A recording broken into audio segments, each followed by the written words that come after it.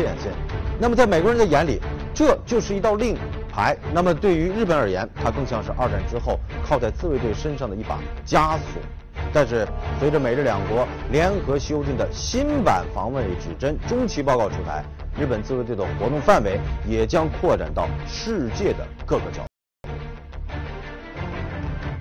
二零一四年十月八日，据外国媒体报道，美国和日本在东京举行的外交和防卫部长级会议上，公布了修订美日防卫合作指针的中期报告。报告在开篇就明确提出，为了适应日益复杂的国际局势，今后美国在保护日本安全的同时，日本也要配合美国在全球开展行动。为此，中期报告特意删除了现行日本防卫合作指针中有关周边事态的提法。并转而调整为强调日美同盟的全球性质。据称，这将是自日本解禁集体自卫权以来，自卫队职责进行的一次重大转变。虽然美日双方修订新版美日防卫指针的具体谈判细节并没有对外公布，但外界普遍认为，两国以此次修改防卫指针作为借口，大幅拓展日本自卫队的活动范围，并极力推行从平时到灰色地带事态，再到战时任何阶段的无缝合作。这在事实上已经展现出了一种咄咄逼人的军事态势。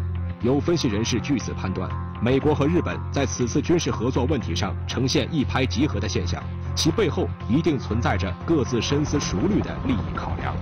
而与此同时，随着新版防卫指针修订步伐的加快，美日同盟的性质也在悄然发生着变化。有消息称，为了配合自卫队走向世界，今后日本士兵中配备进攻性武器的数量恐怕也将逐渐增多，而防御性武器的比例则会越来越少。如果照此趋势发展下去，很有可能只要有所谓的出兵需要，哪里有美军，哪里就能看到日本自卫队的身影。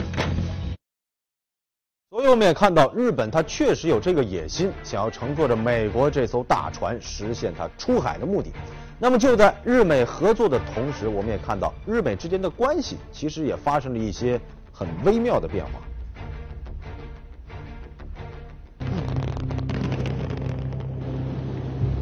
一九七八年，为了应对当时所谓的苏联社会主义威胁，美日两国共同制定了美日防卫合作指针。其内容主要包括了日本本土在遭受侵犯时，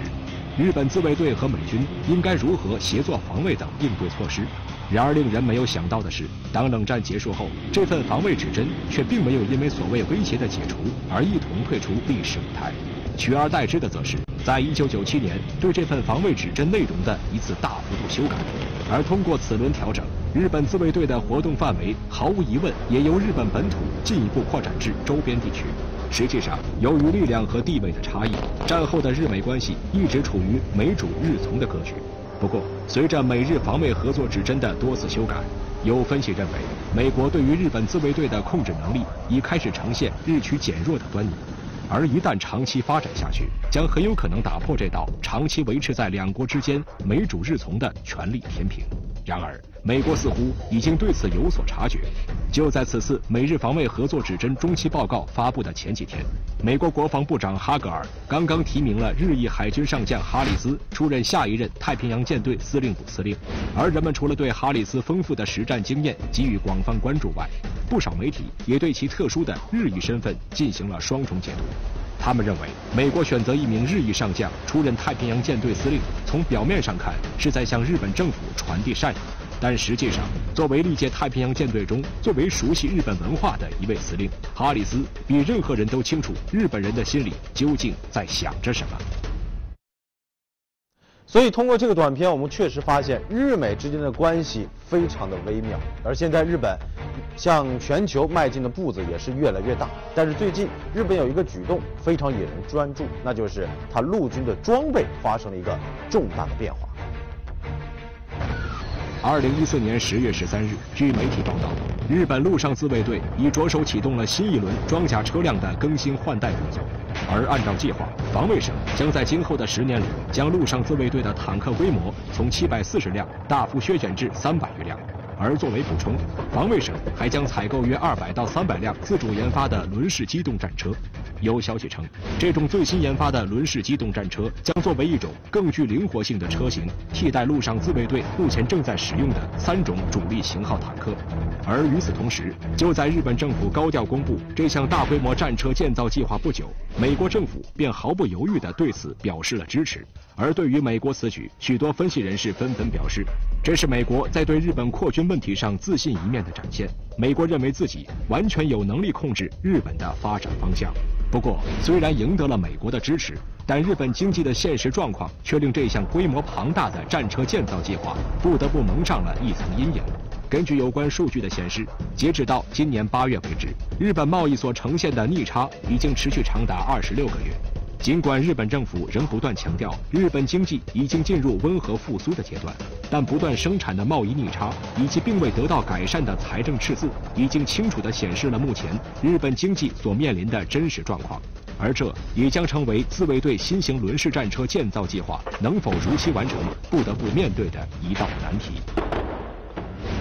随着近期叙利亚局势日趋严峻，美国逐渐加大了对游荡在叙利亚边境地区恐怖分子的空中打击力度。面对极端分子不断反扑的气焰，及时输送地面部队进行支援，便成为了一项迫在眉睫的事情。然而，正当美国为寻找盟国军事支援而头疼不已的时候，日本首相安倍晋三却出乎意料地对美军的空袭行动公开竖起了大拇指，甚至表示作为盟友愿意为美军分担一切烦恼。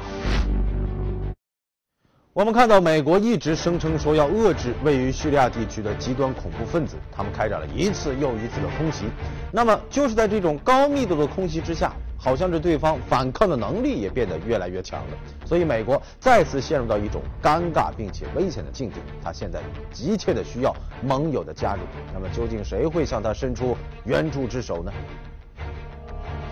二零一四年十月十五日，据外媒报道，以美国为首的国际联盟对盘踞在叙利亚边境的极端组织进行的空中打击仍在继续。截止到目前为止，美军已经对恐怖分子发动了将近两百次空袭。不过，这些从空中落下的炸弹却并没有阻止恐怖组织前进的步伐。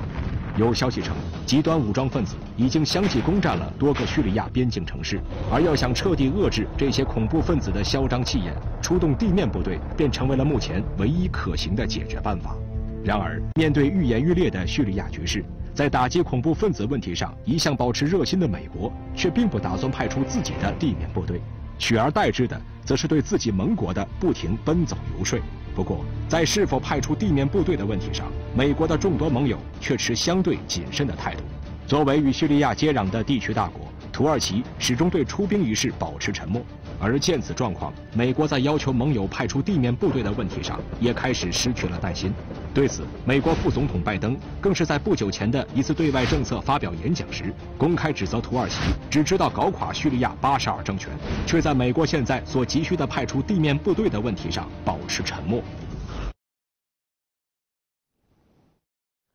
所以我们看到，现在美国对于盟友的支持其实非常的渴望，但是这些盟友的动静却不是特别大。而就在这个时候，日本却是站了出来，为美国排忧解难。二零一四年九月二十六日，据日本媒体报道，日本首相安倍晋三在接受媒体采访时高调表示，为了防止叙利亚局势进一步恶化，鉴于叙利亚政府已经无法遏制恐怖分子。近期以美国领导的联军部队发动空袭叙利亚的举措是十分及时的，而作为美国的坚固盟友，日本将配合美军，并为其打击恐怖主义提供一切必要的支援。然而，对于日本首相的此番向美国公开抛出橄榄枝，一些美国媒体却给出了另外一种解读。他们认为，随着美国对日本自卫队进军全球的逐步松绑，美国对于日本的依赖程度也将越来越深。而最终，当日本军事力量极力膨胀的时候，美国将成为第一个被反噬的目标。在美国与日本进一步修改防卫指针的背景下，美国为了一时利益而产生好奇心，一厢情愿地以为借助日本的军事力量便可以继续维持其分布广泛的全球利益。然而，在诸多问题上，美日之间的利益需求却并不能完全画上等号。日本此举的背后究竟有何不可告人的目的？相信时间会给出一个最终的答案。好的感谢收看今天的军情最前线我是军事高